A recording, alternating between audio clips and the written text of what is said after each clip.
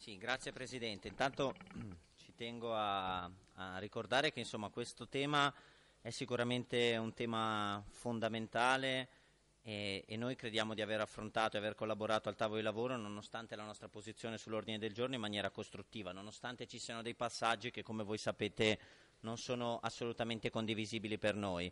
Ci tengo però a partire con una premessa, noi, una noi non stiamo facendo i sindacalisti della regione, come qualcuno ha detto, anche perché a leggere bene la proposta di Renzi, per eh, i consiglieri regionali del Movimento 5 Stelle che si sono candidati per la prima volta alle scorse elezioni, insomma non cambierebbe nulla in termini economici, cosa che invece potrebbe toccare qualcun altro, quindi non lo facciamo di certo per quello.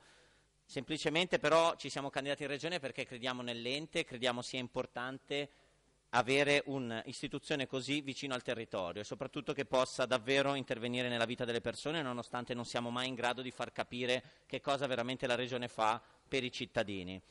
Noi eh, non condividiamo questo, questo, sistema che sta proponendo eh, questo dittatore mascherato da Premier, insomma noi non tolleriamo questa, noi non, noi non tolleriamo questa devoluzione allo Stato Devoluzione allo Stato di tutto il coordinamento della finanza pubblica. Non tolleriamo la clausola di supremazia, altrimenti cosa stiamo qua a fare in Regione? A fare un qualcosa che poi ogni volta qualcun altro decide di annullare, non considerare, superare quant'altro e non lo, e non lo tolleriamo. Sicuramente bisogna fare delle riflessioni, bisogna fare in modo che si possa andare a rivedere e rimodulare la ripartizione delle competenze tra gli enti, sicuramente, però non con la superficialità con la quale viene affrontato il tema oggi e con la superficialità con la quale è stato affrontato il tema delle province. Perché insomma oramai dopo Berlusconi è arrivato qualcun altro che pensa più agli spot elettorali che non veramente al benessere per i cittadini, perché diciamocelo, queste riforme non daranno da mangiare qualcosa in più ai cittadini. Eh?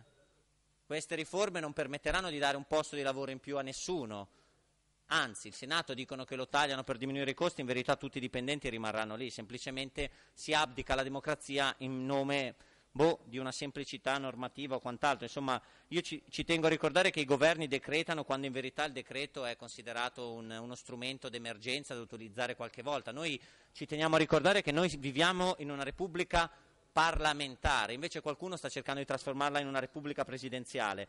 Però ricordiamoci, allora il Senato servono tagli, bene, non è, questa, non è, operando con questa soluzione che si risolvono i problemi. Diminuiamo il numero dei senatori, diminuiamo i costi, gli stipendi, i soldi a disposizione, i fondi dei gruppi, perché oggettivamente si deve fare, però non bisogna assolutamente mettere da parte la democrazia.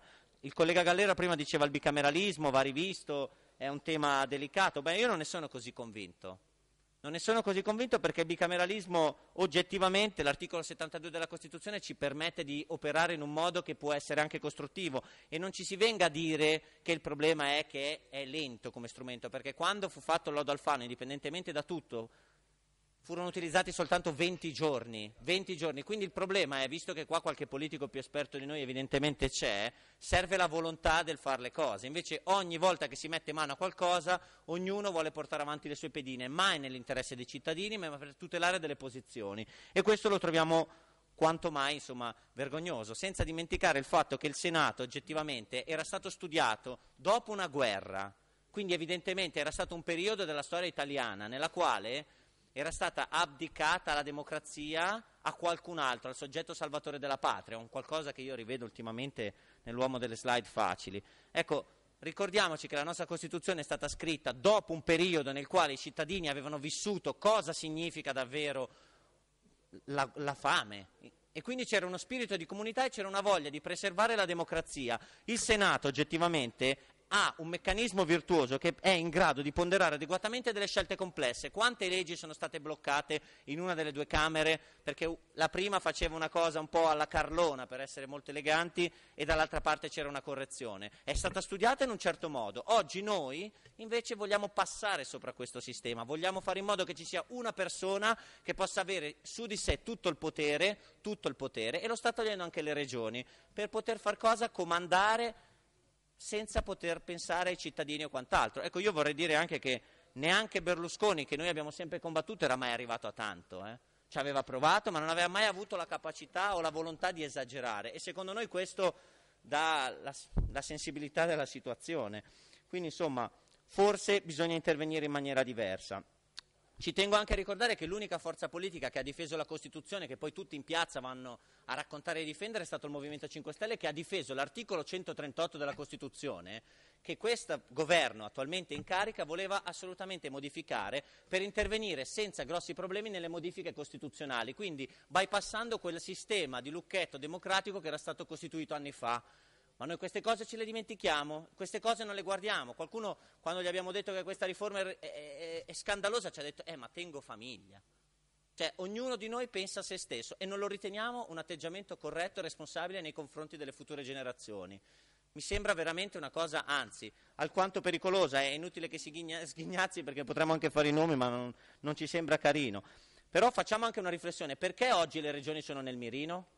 Qualcuno di voi evidentemente ci ha messo del suo, eh? qua sappiamo benissimo le spese pazze, voi raccontate ovviamente che i giornali hanno esagerato e quant'altro, però di soldi buttati ce ne sono stati tanti, di opportunità per sparare sull'ente regione ne sono stati da, da, dati tanti, non, non, dimentichiamoci anche degli arresti eccellenti recenti, perché quando ci sono dei soldi non riusciamo mai a gestirli in maniera corretta ma semplicemente dobbiamo cercare di fare un po' la cresta. Ecco, non ci sembra un atteggiamento corretto da parte chi, di chi deve amministrare al bene la nostra, la nostra regione. Ecco, la Lombardia non è di certo esente da questi tipi di scandali.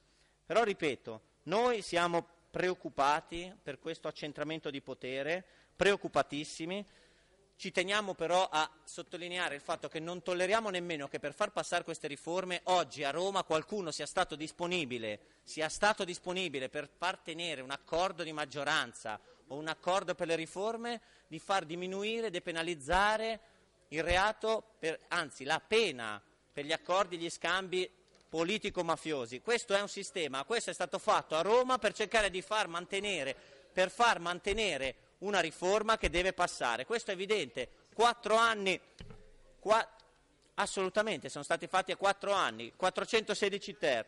Detto questo. Colleghi, per cortesia.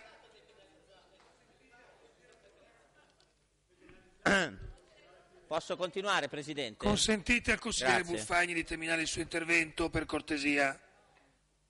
No, noi non barattiamo la, la democrazia insomma, con queste cose. Poi, per l'amor del cielo, possiamo stare qua a giocare sulle parole, ma oggettivamente quattro anni nel 416 ter non l'abbiamo messo noi, anche perché era stato fatto, era stato, fatto, era stato trovato un accordo al Senato, visto che c'è il bicameralismo attualmente, era stato fatto un accordo al Senato dove la maggioranza è più debole, è più debole che prevedeva un certo, un certo quantitativo di anni. È arrivato alla Camera dove la maggioranza è chiara, chiara è, ed è stato diminuito il numero di anni. Poi sicuramente, io vedo quelli del PD tranquilli, voi non so cosa, evidentemente siete più agitati, però, ma benissimo, ci insegnerete per cortesia, voi, non è un problema. Consigliere per Buffagni riguarda... si rivolga al Presidente, grazie. No, per quanto riguarda il tema invece della regione, del residuo fiscale, è sicuramente un problema, bisogna discuterne. Io voglio che i nostri cittadini vengano messi in condizione di poter usufruire maggiormente delle risorse che generano sul territorio, però evidentemente, visto che c'è questo tema, si può anche valutare l'ipotesi, come avevamo già detto, di gestire in maniera diversa i fondi europei che possono arrivare in concambio, perché in tante regioni d'Italia i fondi europei non vengono utilizzati, quindi si potrebbe anche valutare l'ipotesi a livello nazionale di poter dirottare quei fondi dove sono maggiormente produttivi, in modo tale che i benefici che si generano dall'utilizzo di quei fondi possano continuare a essere ripartiti in maniera equilibrata, in modo che nessuno rimanga indietro come davvero è.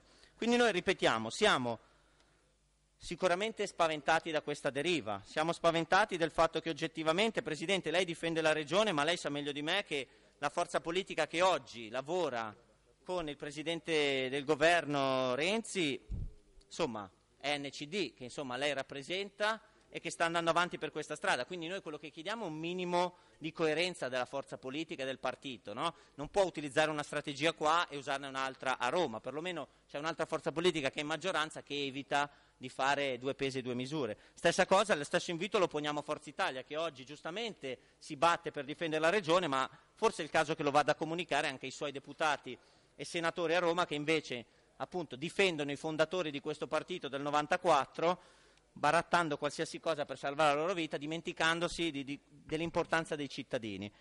Chiudiamo ricordando che secondo noi queste decisioni non si possono prendere chiusi in alcune stanze.